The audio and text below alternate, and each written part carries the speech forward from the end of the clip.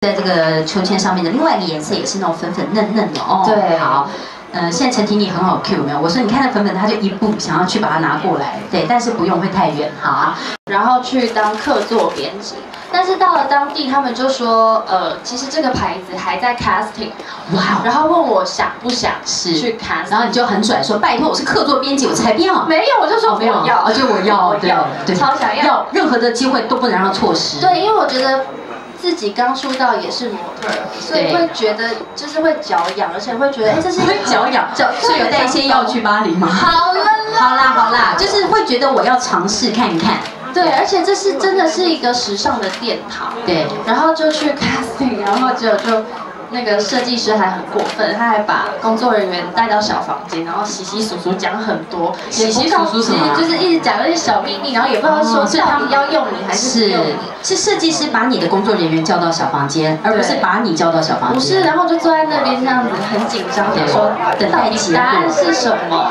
然后他出来就说：“好了，明天再告诉你。”就是这么会卖关子，上秀，说什么？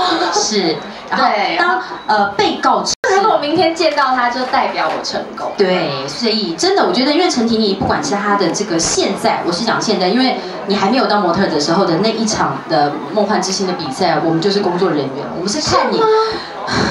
是，哎，那主持人的讲稿还是我写的。哦。你在后台跟大家有一些秘密要我那需要先告诉大家吗？好啊，我也忘了。参赛者之间有一些那种勾心斗角。有吗？不是我吧？确定不是你，不是我啊！我未来再跟大家分享。他也不是勾心斗角的，就是说小少女之间会有一些那种啊。哦，你说那个上厕所要说你陪我去的，对，类似那种。那我们没什么。我们今天是特别为了今天的记者会，我们整个的场地。好，谢谢，这样可以吗？好，谢谢，因为他的耳。上面，上面，你上面，手机是外靠。